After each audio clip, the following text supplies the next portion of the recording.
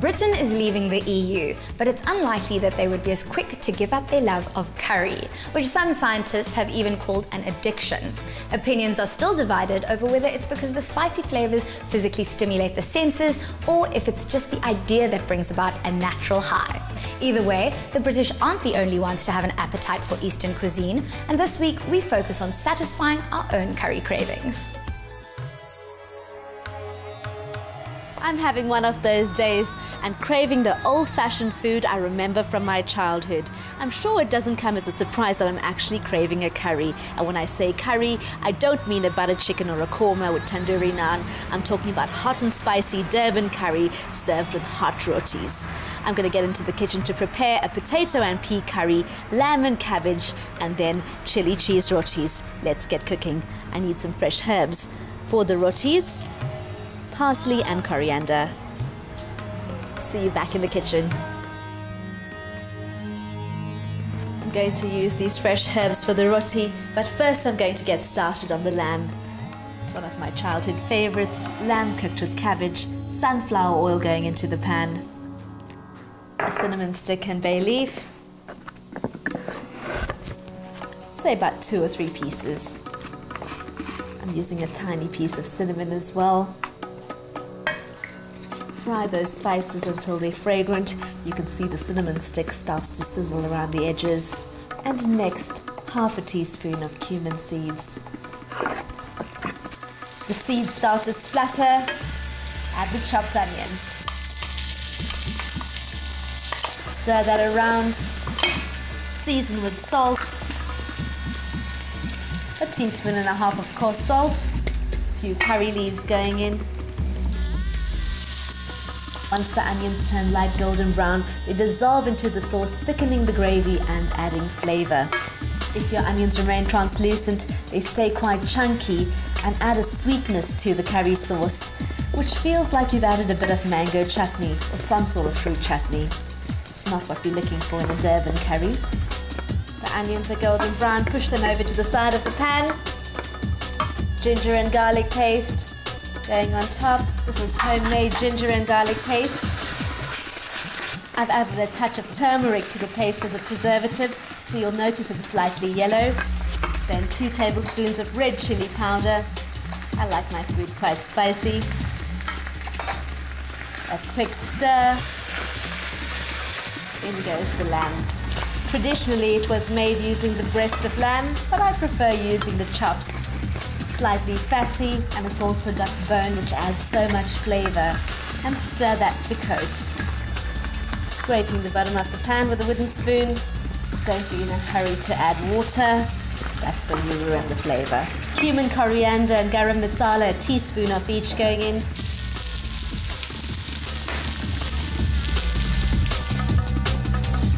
A large pinch of turmeric as well and stir the spices through. I've roasted these spices already and that's the reason I add them on top of the sealed meat. You don't need to fry them for too long. Boiled water going in.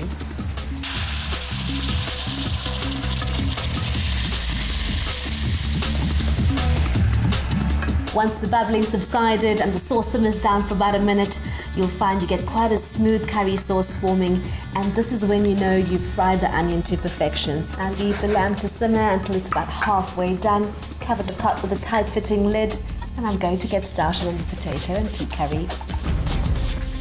Need a pan for this. I'm using a skillet. Turn up the heat. Sunflower oil into the pan. And for this recipe, the first whole spice going in, some mustard seeds. About half a teaspoon. It's starting to splatter. Some cumin seeds. Some finely chopped onions going into the pan. Next, about a teaspoon of salt. And some curry leaves. Stir that through and fry the onion until it's golden brown. Some fresh garlic on top of the onion.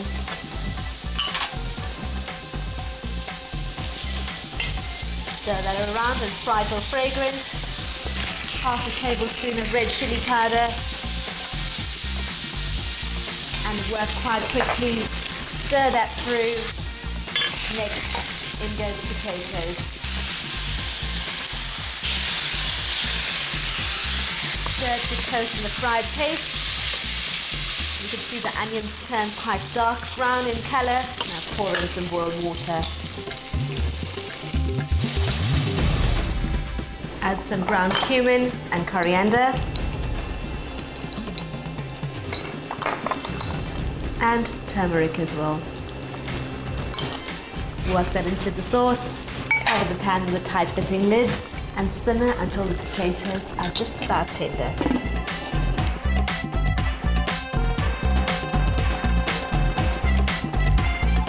Potatoes coming along nicely, starting to break around the edges and they look perfect. And just remember, when you're making a potato dish, always use floury potatoes and not the waxy variety. They won't melt down into the curry and absorb those flavors. Make a well in the center add the chopped tomatoes.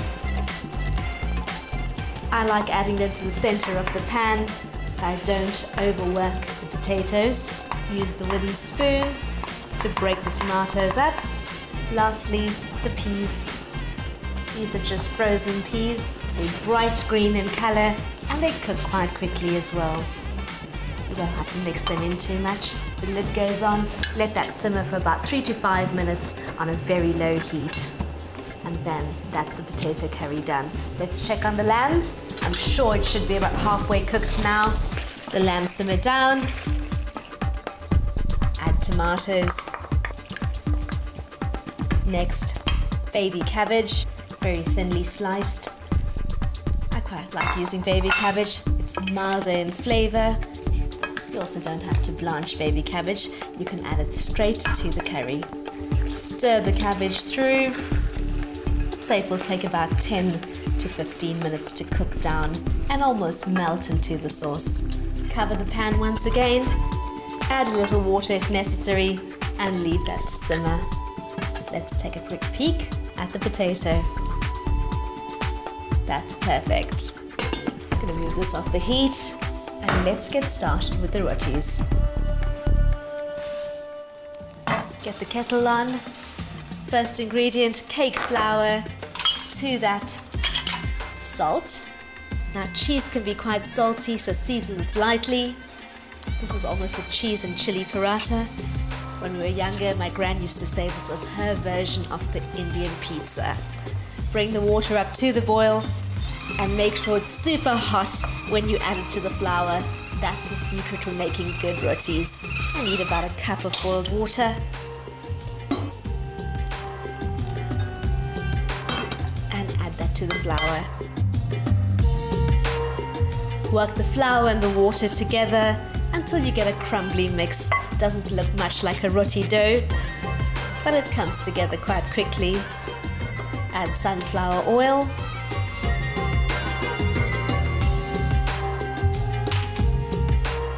I think it's now time for me to use my hands. Just slip my ring off. And then work the ingredients using your hands into a soft dough. And if you are a beginner, start out with just a cup of flour until you get the hang of these. So once the dough is quite smooth, use a knife, slice that in half, and then into quarters. Take each piece, roll these into balls, don't flour the work surface at this stage. If you do, your roti is going to be quite hard and dry. Now for the filling, the chili cheese part of the pizza, as my gran calls it. Got a bit of green chili, two teaspoons of crushed garlic, and the fresh herbs from the garden. I'm using a combination of fresh parsley and coriander. Use a pair of scissors. Not too finely, some green chili, just a touch and 2 teaspoons of garlic. Use a spoon and lightly work that together. That's about ready. Now to stuff these. Just flatten them out gently, always thinner around the edges and slightly thicker in the center. If you can't do that, you can always flatten it on a work surface. You do get quite used to working with this. There we have it. I'm going to use my fingers for this filling now And just grab a bit of that cheese and garlic and squish it into the center. And then just gather up those edges. It's almost like a magic trick. And look, the cheese has disappeared. On to the next one. If you are taking your time working with this dough, cover it with a slightly damp cloth to prevent it from drying out. You could also spice this up with a bit of extra chili if you like, and some red onion too. Time to roll them out. First I'm going to need some flour. Pop the first one over. A little more flour. And roll those out The cheese is starting to show through and I'm actually pressing slightly harder on the right hand side. This gets the dough to turn around. That's the last one done. And let's get the first chili cheese roti onto the pan. I'm using my fingertips, it's the pretty old fashioned way of doing it. The roti starts to bubble up and flip that over a light drizzle of melted butter. Flip it over again. Really does start to puff up. That's puffed up beautifully. And if Indian superstition's anything to go by, my mother-in-law is going to love me. Slide that off the pan. Let's have a look. And that's the gooey cheese on the inside. Time to plate the feast. The temperatures have been cooler in Johannesburg and I've been craving some hot Durban style curry. Definitely not restaurant curry. I've made a potato and pea curry, lamb and cabbage, and chili cheese garlic rotis the way my gran used to make them. I hope you enjoy these curry recipes as much as I do.